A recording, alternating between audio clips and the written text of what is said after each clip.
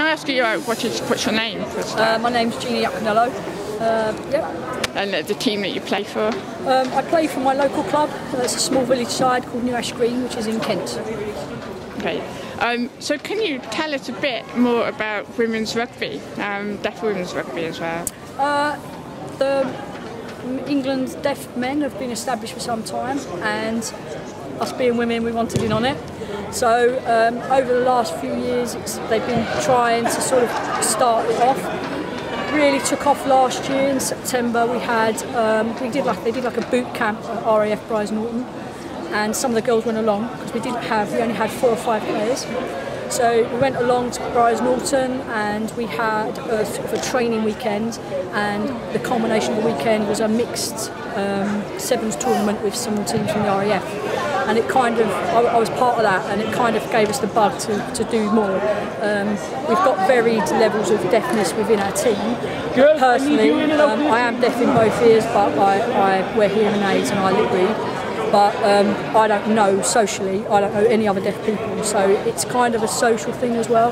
It's the only time I meet up with people that kind of understand being deaf. So myself and a, another player called Bex um, basically took the ball by the horns and we negotiated with the, the, the guys that run England Deaf Rugby Union that if we got sort of the team up and running that they'd sort of share share some of the facilities with us and support us a little bit more.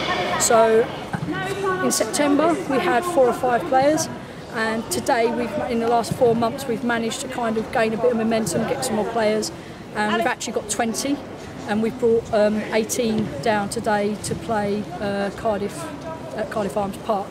Um, historically there's always been an England versus Wales match between the England deaf and Welsh deaf um, and we were trying to do the opposite but um, unfortunately the Welsh deaf couldn't get a, the deaf side out. So um, we've basically opted to play for a, play a Welsh team, so we ended up playing Penalty today. That's Hence great. game. Um, so have you enjoyed being here in Cardiff Arms Park? Yeah, it's been awesome, awesome. Great. Yeah, I think every, every, no one can stop smiling. Oh, that's great. Do you think it'll help get more interest and support? Yeah, definitely. I mean, it's, it's women's rugby anyway. It's difficult to get. Um, it's difficult to get players. Obviously, it's, it's, it's not a sport that all women will play. It can be quite physical. There's contact. People are worried about damaging their nails and getting broken bones and black eyes. Obviously, if you add into that uh, trying to find people that want to do that and are deaf, um, it, it is quite difficult. So.